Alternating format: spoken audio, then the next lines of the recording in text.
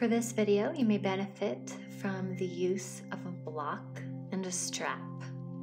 Beginning in Tadasana, finding the breath, lengthening the spine, inhaling the arms up overhead and exhaling to forward fold.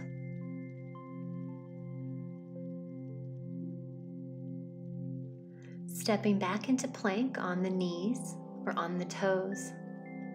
From plank, lowering for Chaturanga Dandasana from knees or toes, lifting the chest for a baby cobra, and pressing back into child's pose over the legs, taking a couple of breaths. Then shifting forward with the body and pressing back into downward facing dog. Inhaling the right leg up and bringing it forward, followed by the left. Forward folding, half lifting, folding deeper and rising to standing. Using the next inhale, reaching the arms up overhead, and exhaling again to forward fold. Stepping back or hopping back to plank on the knees or on the toes. And lowering down for Chaturanga Dandasana, all the way to the belly. Baby Cobra on the inhale or Fuller Cobra.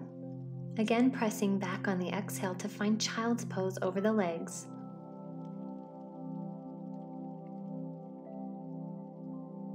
Then shifting the body forward and pressing into Downward Facing Dog.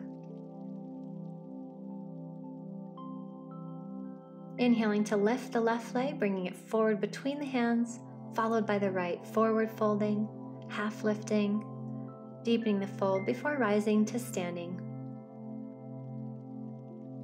One more salutation. Inhaling arms up and around and exhaling to fold. Stepping or hopping back into plank on your knees or on your toes and lowering for Chaturanga Dandasana, inhaling to your upward pose and exhaling back to downward facing dog. Right leg will be leading, inhaling it up, exhaling it forward between the hands to lunge, dropping your back heel and sweeping the arms up. Warrior one. Use the block to help support us. So walking the heels a little bit closer to your glutes, maybe the middle fingers can reach them, and tilting up with the pelvis, followed by each vertebrae up to your shoulders. Inhaling and lifting the right leg if desired, flexing the foot and crossing it over just above the right knee, arms where they're most comfortable to support you. You can release that leg and we'll switch it for the other. Left leg can extend long, flexing the foot and crossing it over just above the knee on the right side. Again, arms were comfortable.